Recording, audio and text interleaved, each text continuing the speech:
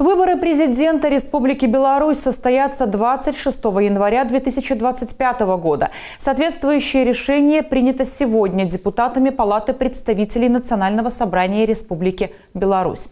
Центральная избирательная комиссия готова к началу избирательной кампании, заявил председатель ЦИК Игорь Карпенко на заседании Палаты представителей. Согласно статье 81 Конституции Республики Беларусь, статье 56 Избирательного кодекса, выборы президента Республики Беларусь назначаются Палатой представителей не позднее, чем за пять месяцев и проводятся в воскресенье не позднее, чем за два месяца до истечения срока полномочий предыдущего президента.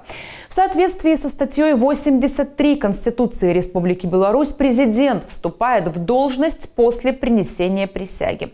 С момента принесения присяги вновь избранным президентом полномочия предыдущего президента прекращаются. Инаугурация действующего главы государства состоялась 23 сентября 2020 года. Соответственно, очередные выборы президента должны пройти не позднее 20 июля 2025 года, сказал председатель Центральной избирательной комиссии Игорь Карпенко.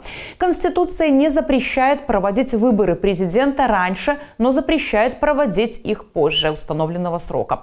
По мнению Центральной избирательной комиссии, оптимальной датой для проведения выборов президента Республики Беларусь видится 26 января 2025 года, подчеркнул Карпенко.